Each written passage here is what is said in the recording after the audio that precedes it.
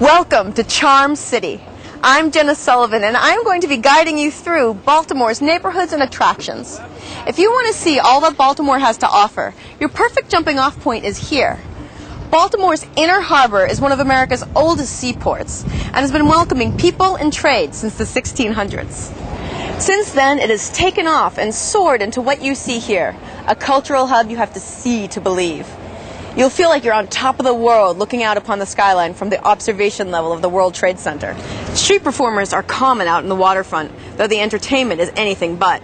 Dive into the National Aquarium's Australian Outback exhibit and don't forget to check out the Dolphin Show. Gourmet and ethnic cuisine, unique shopping, and fabulous entertainment is what the Inner Harbor is all about.